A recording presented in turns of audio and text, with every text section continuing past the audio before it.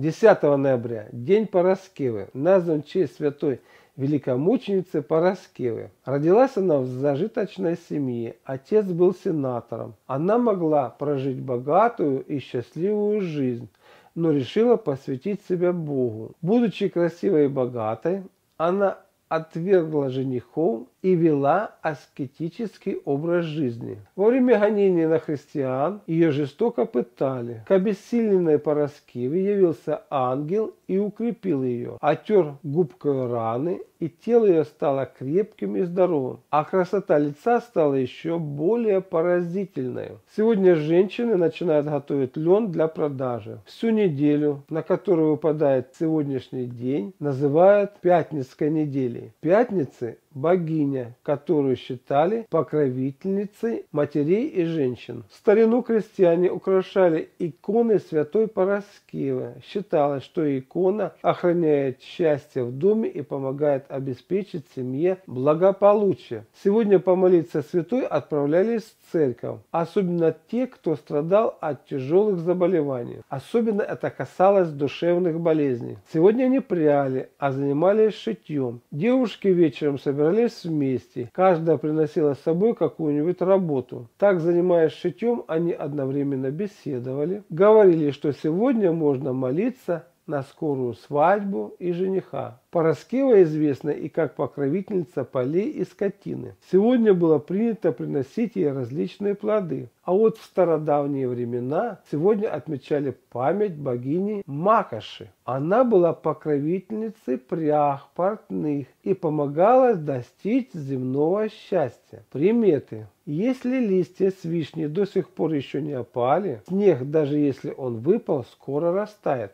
Сегодня надо сдерживать себя от смеха, чтобы потом не плакать. Сегодня нельзя мыть голову, купаться, стриться, мыть полы и вообще выполнять работу, которая была бы связана с водой. Если болит голова или зуб, нужно помолиться святой Пороскеве. Нельзя чистить дымоход на Пороскеву, это к несчастью. Беременная женщина не должна в этот день давать денег в долг, поскольку так в чужие руки она отдаст судьбу своего ребенка.